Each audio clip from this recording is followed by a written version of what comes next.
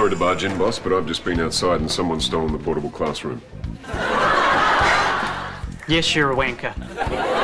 like your father before you. I had no idea.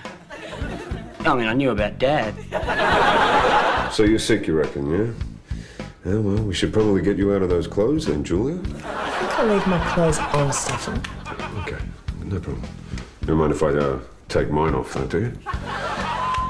Oh, I see the problem. She's got a metal plate in her head and two pacemakers in her chest. Once those gates went up, there was no way she was getting out of here alive. She's irritating, she's arrogant, she's so up herself, it makes me sick. But you love her. Don't you, Dane? She's perfect. You are all creative, intelligent human beings, and this is your chance to prove it. You moronic little bastards. None of you know who my son is. Come on, Simon. Maybe his name's Peter.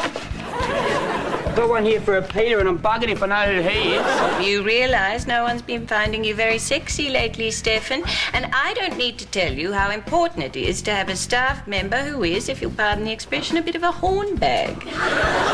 Can I ask you a question, Helen? Sorry, is there a book on how to manage female moustaches?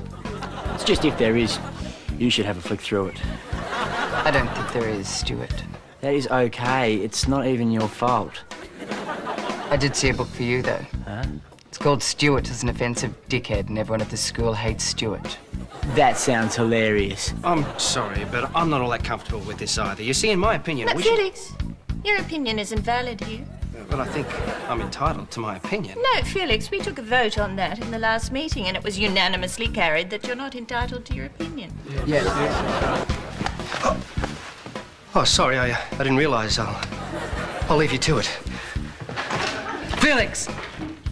Stay.